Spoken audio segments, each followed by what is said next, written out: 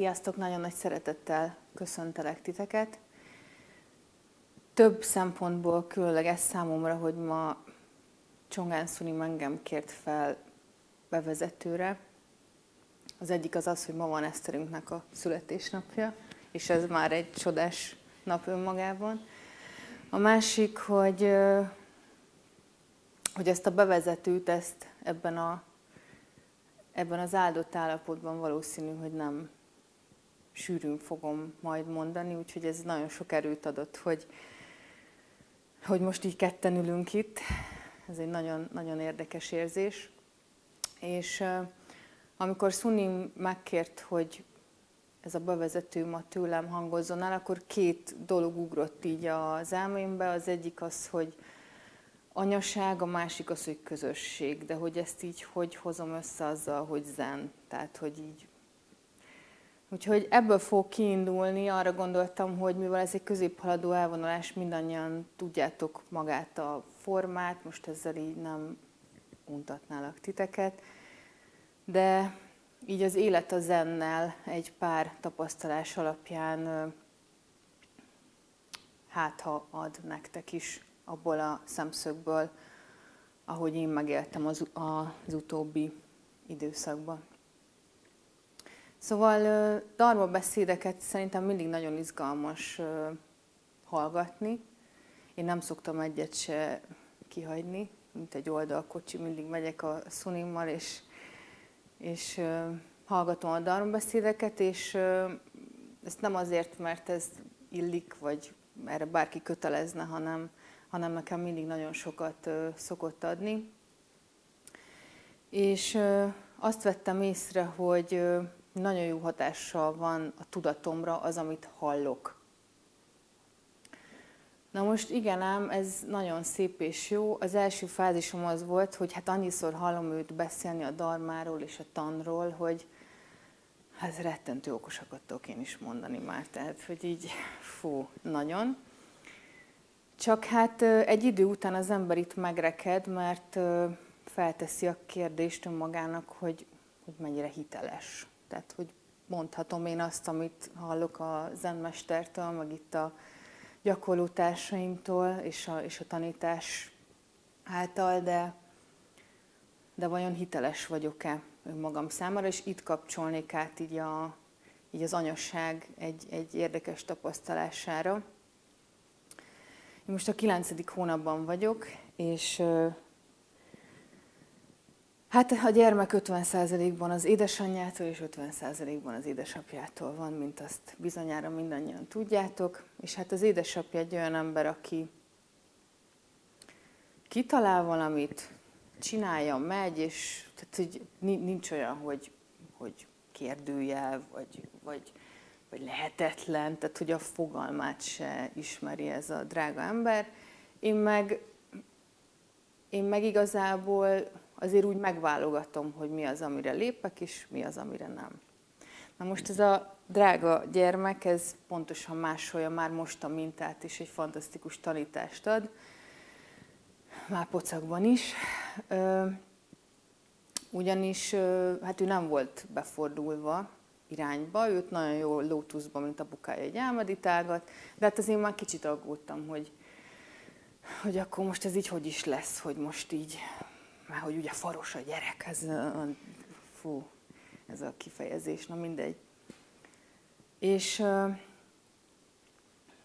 hát egyik este feltettem a kérdést önmagamnak, hogy persze itt megcsinálok már mindent már spinning babysek, a gyakorlótársaink kezelnek, bóventrápia, illatok, együttérző gondolatok és nagy szeretetteli közeg, tehát itt jön be a közösség, tehát már, már mindenki csinál mindent, csak már forduljon be a bébi.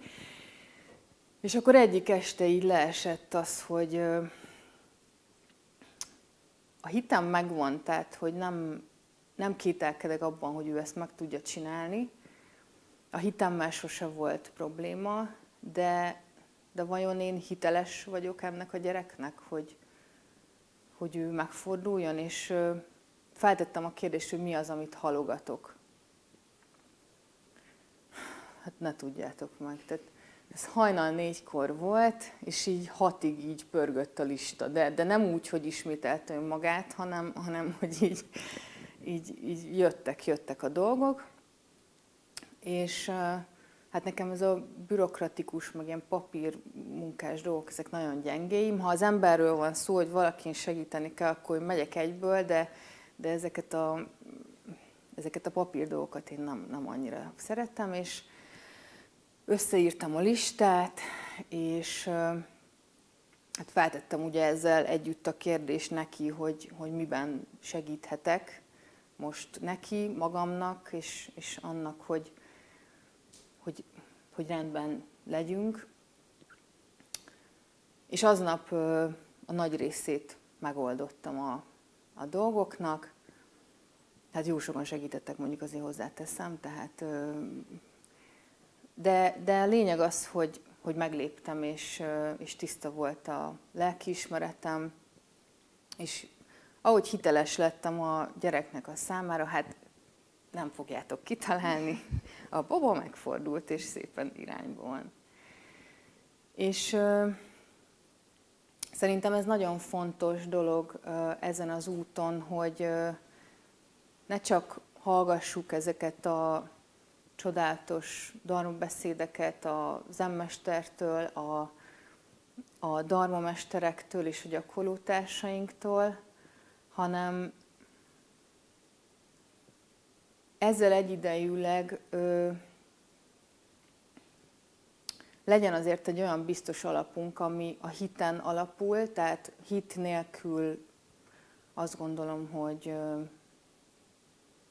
nem érdemes élni, és hogyha van számunkra egy hiteles dolog, ahhoz arra rá kell kapcsolódni, és, és én ezt megtaláltam a, a zenben, és nagyon igyekszem majd, majd ezt továbbadni, mert, mert tényleg fontos számomra az, hogy, hogy ne csak hitem legyen, és ne csak dumálni tudjak, hanem, hanem azt, amiről, amiről beszélek, azt éljem is. És akkor itt kapcsolódik be a szanga ereje, hogy, hogy fantasztikus ezen az úton úgy járni, hogy, hogy egymás előtt egy olyan őszintességgel járunk, hogy belelátunk egymás fájdalmaiba, örömeibe, már merek segítséget kérni, ez is egy, szerintem egy nagyon nagy dolog, és, és már mások is tudnak segítséget kérni, és itt vagyunk egymásnak, és ez egy nagyon-nagyon sokat adó energia, ami persze nagyon jól hangzik, de ennek azért mindannyian megfizettük az árát, akik már így hasonlóan vagyunk. És ami a lényeg, hogy nem gondolom azt magamról, hogy én most itt egyedül, itt a nagy hős anyába én itt megfordítottam a gyereket, és úgy nagy példát mutattam, hanem egyszerűen tényleg azt érzem, és őszintén köszönöm mindenkinek, akinek ebben így része volt, mert amúgy tök megható, hogy, hogy ezt így sokan csináltuk. Nagyon sokan gondoltatok ránk, és és voltatok velünk, és persze ez egy ilyen tök bagatel dolog, hogy most beforult a kisból, hogy meg kell szülni, meg föl kéne nevelni, tehát hogy, hogy így, na értitek, tehát hogy most jön a nagy meló, de, de, de ez is egy olyan részlet, ami, ami igenis a, az életemet azt gondolom, hogy meg az övét is befolyásolja. És én ezért nagyon hálás vagyok mindenkinek, aki, aki egy kicsi energiát is beletett. És hát nagyjából ilyen itt az élet. Sokszor nem egyszerű, meg itt ilyen nagyon jól hangzik, itt sok, sokan mondták, hogy hú, hát nekem milyen jó, hogy itt a, ugye itt a nagy buthába várom a kisbabát, és akkor, aha, igen, az gyere el egy kicsit ide lakni, és akkor majd kicsit belekóstolsz a csoki gyárba, hát nem mindig annyira édes ezt tanúsíthatom. És, az éremnek mindig két oldala van, ez is egy nagyon érdekes dolog, hogy valóban egyébként egy nagyon áldásos dolog az, hogy, hogy ebben a közegben élhettem meg, megélhettem meg ezt a kilenc hónapot. Fizikálisan ez egy, ez egy fantasztikus dolog volt, de a lelki részét tekintve annál nehezebb, ugyanis mi úgy kezdtük ezt a kilenc hónapot, hogy volt például három családtagunk, aki eltávozott így a földi létből, és visszahallottam egy-két ilyen irigykedő embert, hogy hát persze nekem könnyű. Hát nem volt könnyű. Bár ez remélem nem vigasztal senkit, de, de eszméletlen nagy tanítást kaptam arról, hogy ez az arany középút, ez nekem ilyen évek óta ilyen nagy dumám, tehát én erről ilyen órákat tudok így zengeni, így, így belém van kódolva, és akkor lejön ő, és akkor azt mondja, hogy rendben, itt az élet, és itt a halál. És akkor na kezdjél valamit a nagy arany középutaddal, akkor tessék, itt van tárcán, és akkor oldjad meg. Hát nagyon hálás vagyok, hogy ezt a, ezt a zen útján élhettem meg, mert hát nyilván egy gyász folyamatban ö, bizony baromira nincs kedve az embernek gyakorolni. Tehát, hogy így nem is kényszerít senki, tehát a szunim se dádázott sose, hogy na akkor gyere, azt kezdje magaddal valamit és itt jön az, hogy tényleg olyan alapokat kell magunknak letenni az asztalra, amihez nem mindig van kedved, mert baromira nem volt kedvem. Tehát magam zártam az ajtót, ültem a sötét szobába, sírtam jó sokat, éreztem a, a családomnak a fájdalmát. És közben meg itt volt egy kisbaba,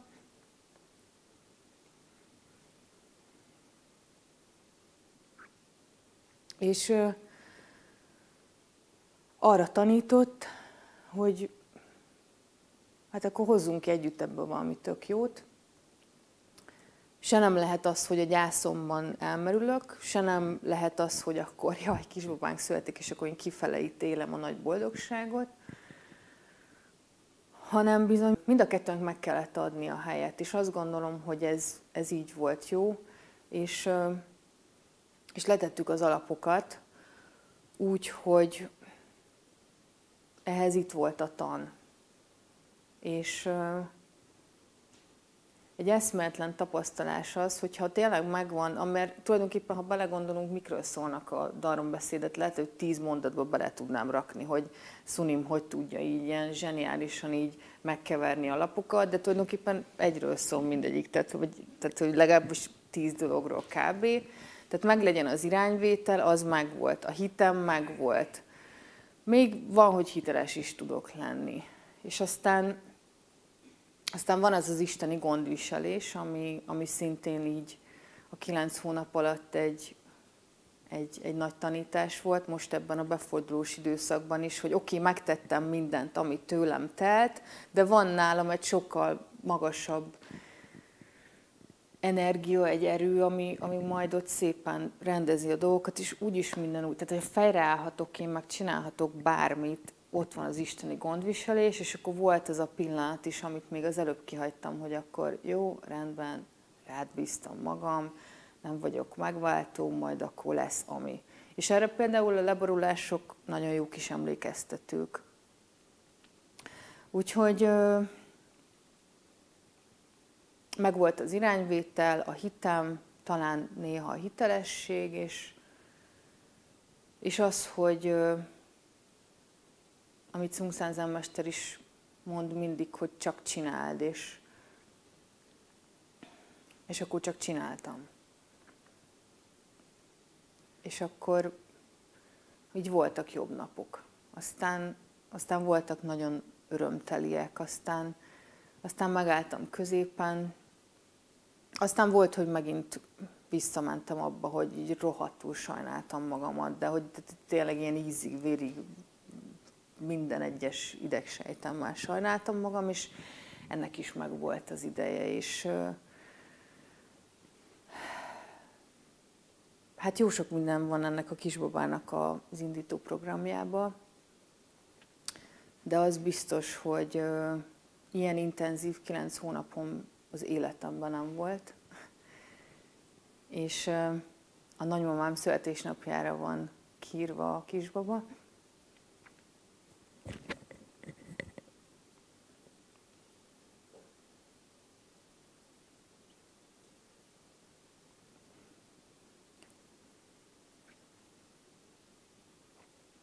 Amit a nagypapám már nem élt meg.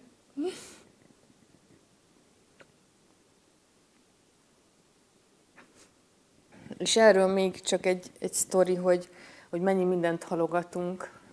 Még nem volt 12 hetes a baba, amikor karácsony volt, és, és hát én kitaláltam, hogy tök mindegy, hogy most még nem töltöttük be a 12 hetet. A nagyszüleim kaptak egy ilyen kis szuki levelet, hogy az volt az elején, hogy én vagyok a világ legszerencsésebb unokája, mert ti vagytok a nagyszüleim, és akkor lapoztak egyet, akkor ott volt, hogy és a kisbaba a pocakomban pedig a világ legszerencsésebb dédunokája, hiszen ti lesztek a dédszülei.